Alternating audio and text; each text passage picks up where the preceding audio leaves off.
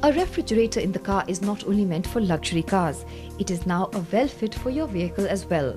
In the scorching heat of India, a refrigerator in the car isn't a luxury. In fact, it can be a necessity. Most of us even avoid using the air conditioner to cut down on fuel costs.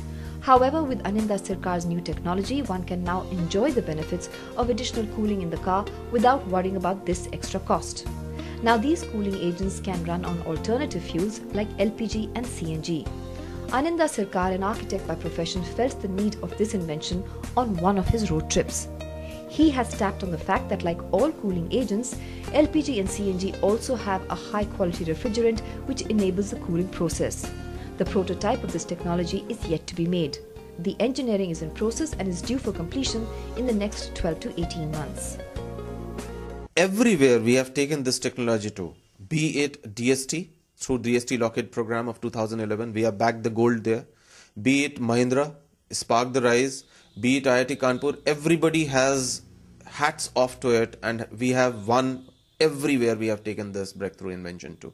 So far, CNG and LPG users were the most benefited during the fuel price rise, and even now, with Aninda Sircar's technology, they will not get dehydrated in the scorching summers.